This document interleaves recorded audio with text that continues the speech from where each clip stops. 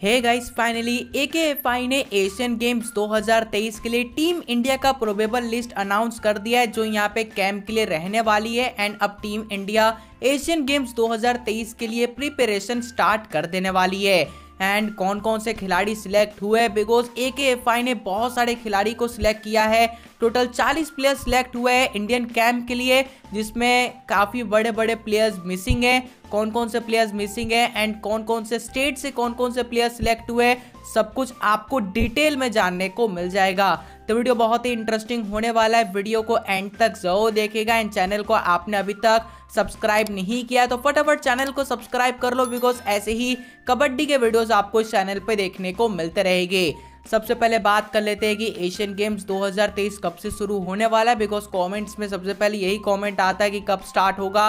तो मैं आपको बता दूँ ट्वेंटी थर्ड सेप्टेम्बर से एशियन गेम्स 2023 स्टार्ट होने वाला है, लेकिन जो कबड्डी का इवेंट है, वो कौन से स्पेसिफिक डेट से स्टार्ट होगा, वो क्लियर नहीं हुआ है। लेकिन जो मेन एशियन गेम्स है, वो यहाँ पे तेईस सेप्टेम्बर से शुरू होगा एंड अक्टूबर के मिड ऑफ़ तक चलने वाला है। अब इससे पहले कि यहाँ पे मैं आपको 40 प्लेयर्स के बारे में बताऊँ, इससे पहले मैं आपको कैम्प के बारे में बता देना चाहता हूँ, आखिर मैं कौन से कैम्प के बारे में बात कर रहा हूँ। तो अगर आपने पिछले साल एक्टिव थे, इसी टाइम तो आपको पता होगा कि ए के ने ऐसे यहाँ पे प्लेयर्स के लिस्ट अनाउंस किए थे। तो जो 40 खिलाड़ी है, वो यहाँ पे एक स्पेसिफिक जगह पे जाके ट्रेनिंग करेंगे, जैसे कि प्रो कबड्डी की टीम्स प्री सीज़न कैम्प करती है लीग से पहले, उसी टाइप का होने वाला है। एंड जो जो भी प्लेयर सिलेक्ट हुए हैं उस जगह पे जाके प्रैक्टिस करेंगे मैचेस खेलेंगे एंड जो भी कोच यहाँ पे सिलेक्टर्स हो गए, वो यहाँ पे जाके देखेंगे। एंड उनमें से 12 खिलाड़ी सिलेक्ट हो गए एंड दो तीन प्लेयर्स रिज़र्व के तौर पे भी सिलेक्ट हो गए।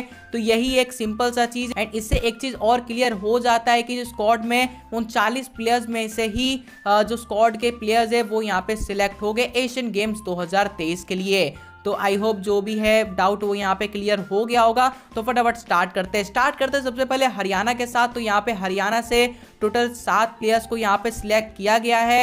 आ, सबसे पहले यहाँ पे प्रदीप नरवाल है। देन यहाँ पे मोहित गोयत देन यहाँ पे जयदीप दहिया नंबर चार पे मोहित नंदल नंबर पाँच पे सुरेंद्र नारा नंबर छः पे सौरभ नंदल एंड नंबर सात पे मीटू शर्मा।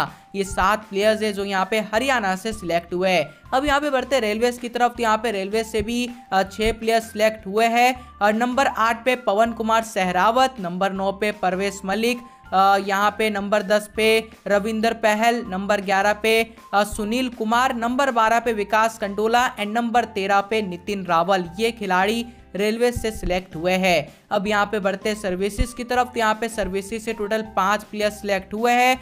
नंबर चौदह पे अर्जुन देसवाल नंबर पंद्रह पे महेंद्र सिंह नंबर सोलह पे नवीन कुमार एंड नंबर सत्रह पे Surjeet Narwal and finally number अठारह पे मंजीत दहिया सिलेक्ट हुए हैं।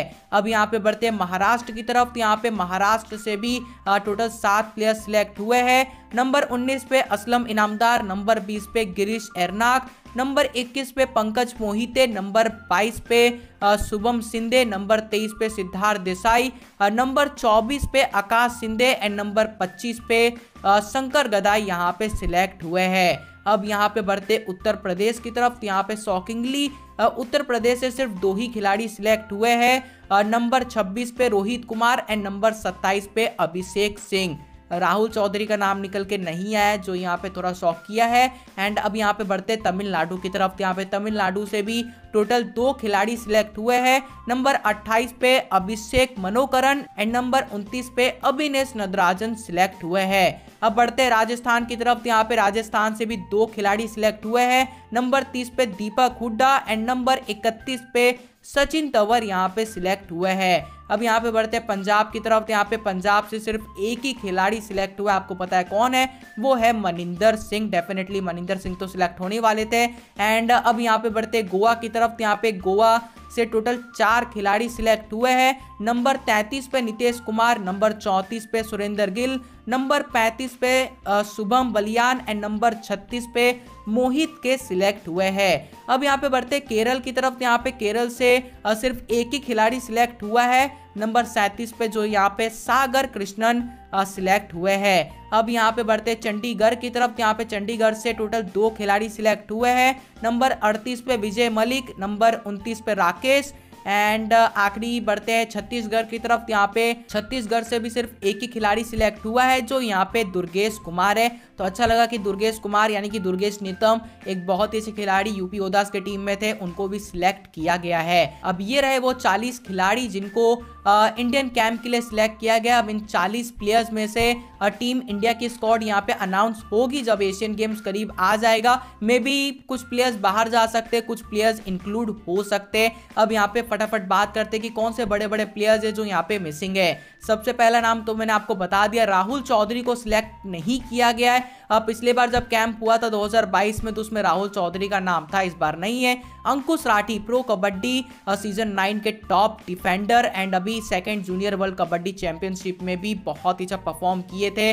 तो अंकुश राठी को ना सिलेक्ट करना मुझे नहीं समझ आ रहा है क्या है। मे बी एज का कोई फैक्टर होगा अदरवाइज़ यहाँ पे इनको बाद में ले लिया जाए। देन यहाँ पे भरत हुड्डा भरत हुड्डा भी प्रो कबड्डी सीज़न नाइन में काफ़ी अच्छा परफॉर्मेंस दिखाए थे।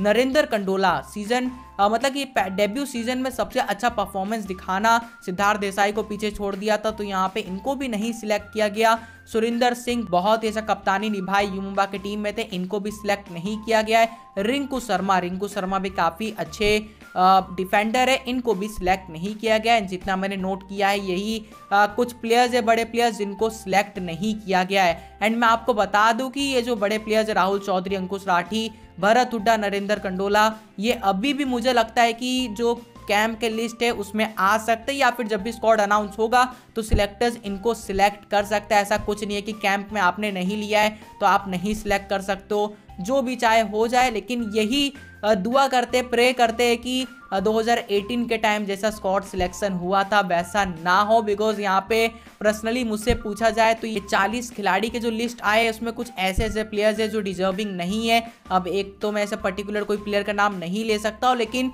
आ, मुझे ऐसा लगता है कि थोड़ा अनफेयर सिलेक्शन हुआ है। अब लेट से क्या होता है। जो टॉप ट्वेल्व सिलेक्शन होगा वो अच्छे से हो। एंड क्या आपको इस पर वीडियो चाहिए कि नहीं कमेंट्स में ज़रूर बताएगा कि इन 40 खिलाड़ी जो सिलेक्ट हुए इनमें से कौन सा टॉप खिलाड़ी मेरी तरफ़ से बन सकता है? मुझे क्या लगता है? अगर आपको इस वीडियो चाहिए तो कॉमेंट्स में ज़रूर बताएगा बहुत ही जल्दी आपको वीडियो देखने को मिल जाएगा।